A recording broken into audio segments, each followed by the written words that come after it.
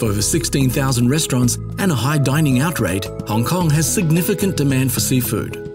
According to the statistic, Hong Kong is the number one seafood consumption per capita in the whole world, and Hong Kong people love to eat seafood, especially for the shellfish. Worldwide Seafood Limited has been working with WWF Hong Kong to promote sustainable seafood. Belinda Ng, Sales Director, says sustainable seafood is an emerging trend in Hong Kong and Macau.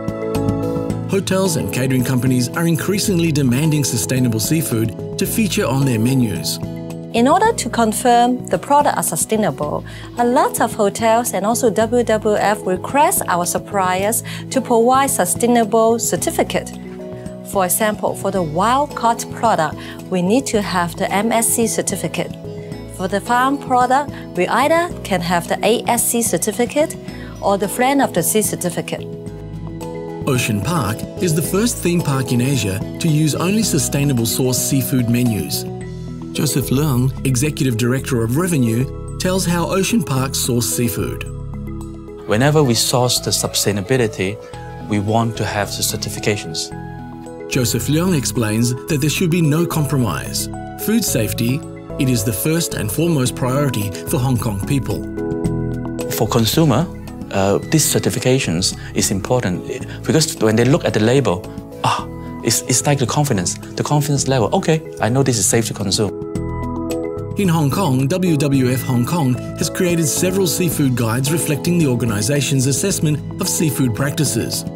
The guide is regularly updated to reflect changing conditions.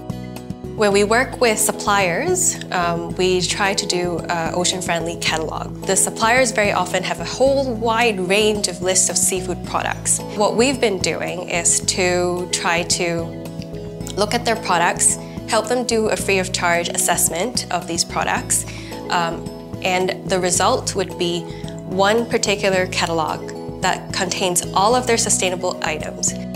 New Bond Marine is a company with online delivery services and retail stores.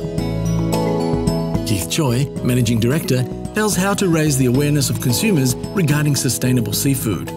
In our store, we distribute the seafood guides to educate our consumers what are the sustainable seafood they should eat and what they should, should not eat. Interested in exporting to Hong Kong, Keith Choi shares his insights on entering the market. To launch the seafood products into the Hong Kong market, I would suggest Australian seafood suppliers to obtain the recognized certificate of sustainable seafood such as MSC or ASC, which is very getting more important for the Hong Kong market. Don't forget to check out the other two videos in Austrade's Seafood in Hong Kong series available on the Austrade website.